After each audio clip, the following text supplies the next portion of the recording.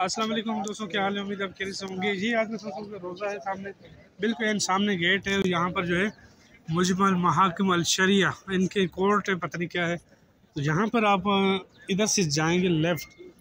तो आज असल हमारा मिशन जो है, अलबेग खाने का है और अलबेग लेने जा रहे हैं। देखते हैं वहाँ सिचुएशन क्या है। मुझे पता है, मैं लास्ट टाइम गया था बहुत रश थी और बहुत ही जद्दोजहद करने के बाद हमें वहाँ पर मतलब परचेज़ कर सके। तो आज कोशिश करते हैं कि क्या पोजीशन है?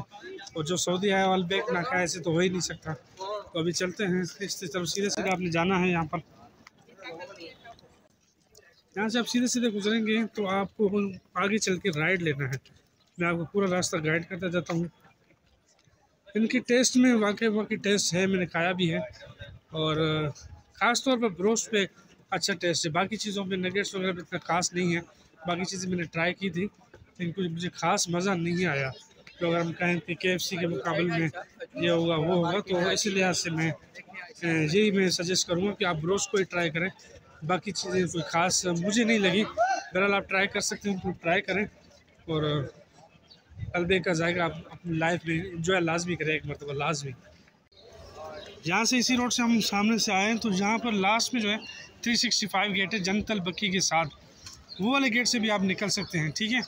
वहाँ से निकल के आपने यहाँ से राइड लेना है। तीन सौ पैंसठ नंबर गेट के बाद जो है यहाँ पर अंडर पास है, मैं आपको दिखा देता हूँ। ये जनतल बक्की का कॉर्नर है, ठीक है, यहाँ से आप सीधा आएँगे। बिल्कुल सीधा चले जाना है आपने। वो जो आपको फ्लाई दिख रहा है, उससे आपने लेफ़्ट लेना है। जैसे बीच में से भी रास्ता जाता है, लेकिन आगे से भी आप जा सकते हैं, वहाँ से आपने इजीली लेफ़्ट लेना है।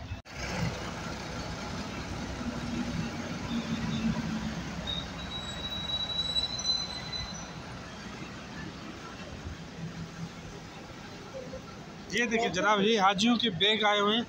ये बड़ा बेहतरीन सिस्टम है। ये कोरियन जो आते हैं या थाई के लोग आते हैं, या मलेशियन आते हैं, इनके एक ही कलर के बैग होते हैं। बस से उतरे ताकि ये आगे पीछे घूम ही नहीं हो सकते। बिल्कुल एक किस्म के कलर है, ताकि कोई इनको पिक भी नहीं कर सकता और ये मिस भी नहीं हो सकते। हैं एक ही कलर को चूज़ करते हैं ग्रुप वाइज और ईज़िली वहाँ पर एक्सेस हो जाता है। कहीं भी होटल में या बस से उतारते हुए। कैसे?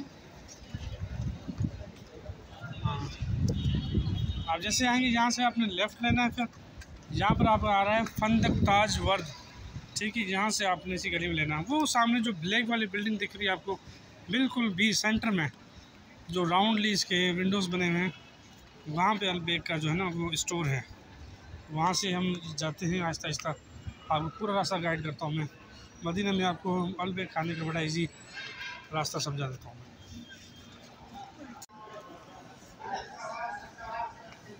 यहाँ पे आपको बुलंद बारह इमारतें दिख रही जो हैं, इस टोटली होटल्स है यहाँ पर। इसी गली में आते हुए आप यहाँ पर आगे थ्री पॉइंट साल अमीन ठीक है, यहाँ से आपने राइट लेना है इसी बिल्डिंग से। यहाँ से राइट लेके आपने फिर लेफ़्ट लेना है यूँ। तो लेफ़्ट जाएँगे तो उल्टे हाथ पे जो है, वहाँ पर अलबे का स्टोर है। भाई, हम यहाँ इस बिल्डिंग के पास पहुँच गए हैं। ये अल जजीरा बिल्डिंग है।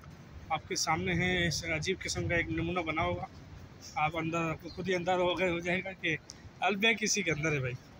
आपने कहीं भी और अच्छी बिल्डिंग नहीं देखनी, जिस पे तो ट्रायंगल शेप जो बने हुए ना, अजीब किस्म की बिल्डिंग अलबे किसी में भाई। तो यहाँ पर हम सीढ़ियों से भी जाने की कोशिश करते हैं, लेकिन आगे से घूमना बेहतर रहेगा। मेरे घर से गेट एक बाहर की तरफ़ से भी है। तो हम आगे से यूँ घूम के यूँ जाएँगे और फ्रंट वाले गेट्स ट्राई करते हैं इन होने की। तो खुशबू तो आने लगे अब करीब पहुँचने वाले हैं।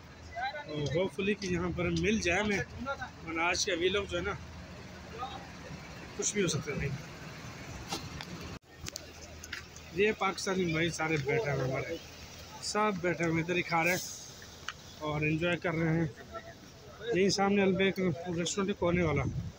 वहाँ से लिया, यहीं बैठ गए और आराम से खा लिया तो आप भी यहाँ से खा खा सकते हैं। तो मैं कोशिश करता हूँ कि अभी ले लें कि क्योंकि मुझे लग रहा है रश बहुत ज़्यादा है। लाइनों में खड़े होना पड़ेगा। तो जैसे यहाँ लाइन है ना, देखिए। ऐसी लाइन में हमें भी खड़ा होना पड़ेगा। वही भाई, यहाँ पर तो मुझे लग रहा है घंटा भी लग सकता है। नमाज़ का टाइम ना हो जाए। कोशिश करते हैं कि भाई क्या बनता है यहाँ पर हमारा। रहा जनाब अल बैग तो बाकी है शॉर्ट बाकी का हिस्सा जो है मैं आपको दिखाता हूँ थोड़ी देर में, जब हम लेने के बाद आएँगे यहाँ पर, ठीक है? यहाँ बहुत रश है भाई।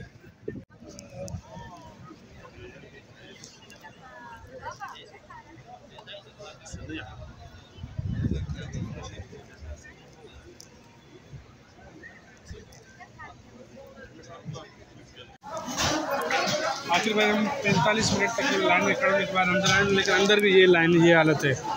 तो यहाँ पर भी बहुत रश है, आप देख सकते हैं यहाँ पर। तो यहाँ पर वो ऑर्डर की लाइन है, यहाँ पर सर्व की लाइन है। तो यहाँ पर सर्व होगा, उसकी अलग लाइन है। तो हम यहाँ पर लाइन में खड़े हैं, वहाँ पर बुकिंग कराने के बाद।